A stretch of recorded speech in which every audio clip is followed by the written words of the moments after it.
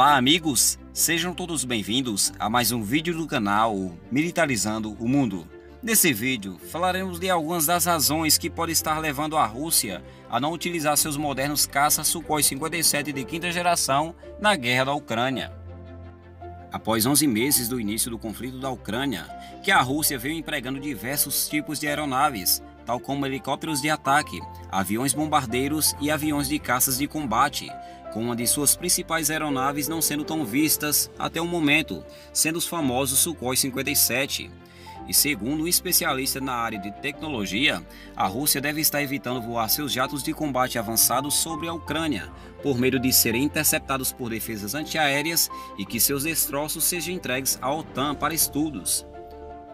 O Sukhoi 57 é uma aeronave russa moderna e valorizada pela sua furtividade e por outras tecnologias sensíveis que as compõem, mas é uma aeronave que não tem sido visto regularmente no conflito da Ucrânia, apesar de todos os esforços de Moscou para aumentar as suas capacidades.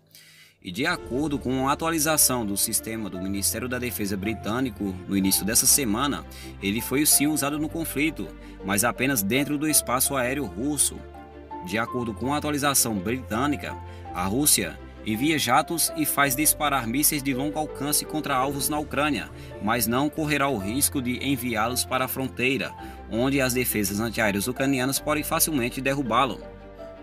E segundo Justin Bronk, que é um especialista em poder aéreo e tecnologia do Instituto de Estudos Royal Anti-Services em Londres, ele afirmou que a Rússia está com medo das consequências se um caça Sukhoi 57 for abatido e os aliados da Ucrânia na OTAN pudessem estudar os seus destroços. Esse problema de empregar tecnologia de ponta também serve para o lado dos aliados da Ucrânia, tal como os Estados Unidos, que também rejeita não entregar as aeronaves A-10 Thunderbolt apesar de ser uma aeronave já antiga, mas que continua sendo muito importante para os Estados Unidos. E outra aeronave cogitada a ser entregue na Ucrânia após dois meses do início do conflito são os famosos F-22 Raptor, que são caças de uso exclusivo dos Estados Unidos, com a tecnologia stealth e com tecnologias sensíveis que os torna impossível de ser vendidos a nações aliadas. O caça russo é muito moderno e letal e pode sim ser utilizado nas operações daquele conflito, mas que pode ser um grande prejuízo para um abate de algumas daquelas aeronaves russas. Se gostou do vídeo, deixe o seu like. Se não for inscrito, inscreva-se agora e também ative o sininho das notificações para não perder nenhuma novidade.